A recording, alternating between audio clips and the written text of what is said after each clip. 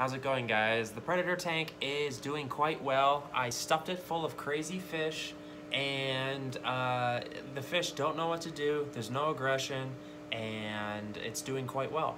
So today's question, uh, sorry I look a little haggard. It's been a, uh, a long work week and um, I haven't showered in a couple days and I'm gross. But uh, I'm all about the fish and doing some maintenance right now. As you can see, got algae on this glass and it looks disgusting. Okay, on topic. Today's video, I've been asked this like five times already. Can I keep silver dollars with Oscar fish? I get tons of Oscar fish questions because uh, I, I've kept Oscars for so many years and I have tons of videos on them and people message me all the time about them. And I'm also the admin over at Oscar Fish Keepers. And to answer your question is uh, simply no. I don't keep silver dollars with Oscars.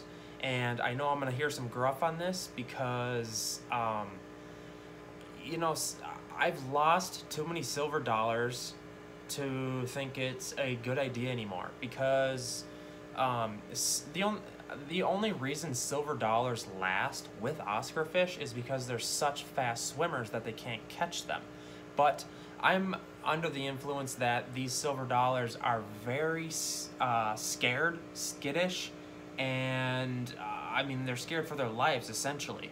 Maybe the only way I would be on board with it is if the silver dollars were massive. You know, like we're talking like a five inch fish where uh, they're more of a size comparison to the Oscar fish. So, uh, I think the silver dollars are afraid for their lives. Uh, maybe if you had a large school of them, because they are schooling fish, they feel a lot more secure. But I commonly see uh, people having an Oscar tank with like two silver dollars, and the silver dollar uh, almost always is super nervous and skittish, and they get sick really easy and die.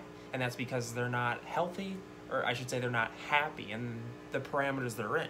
So, um, I'm trying to just think. I'm gonna get a lot of people pissed off about this because you have kept silver dollars for so many years uh, with Oscars.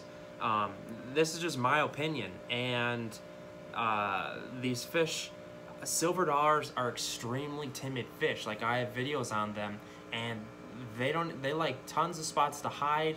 They like coverage, dark areas.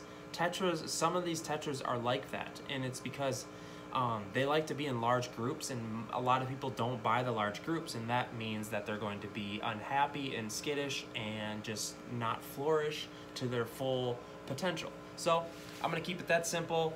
Um, maybe the only way I'd be on board, like I said, is. Um, by the way, I, I put a red Texas in this tank. My red Texas, I'm trying to find them.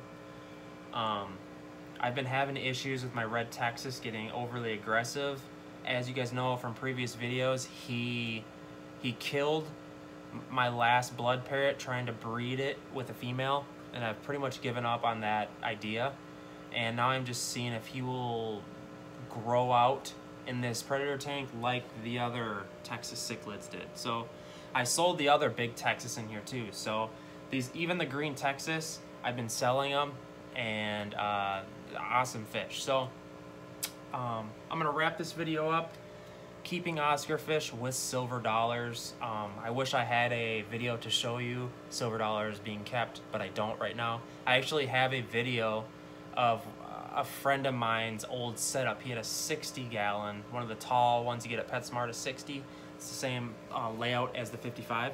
And uh, he had two ma massive Oscars with like three silver dollars and the video gets so many comments you know about people interested in doing this and um, a lot of hate too because he had two full-size Oscars in a 60 gallon tank. So uh, yeah I, I don't know why I'm babbling about that but I'm gonna wrap this up. Look at that beautiful Jack Dempsey.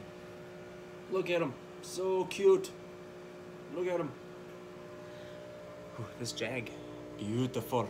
Beautiful God, I love Jag cichlids. They're just beautiful. Whoop.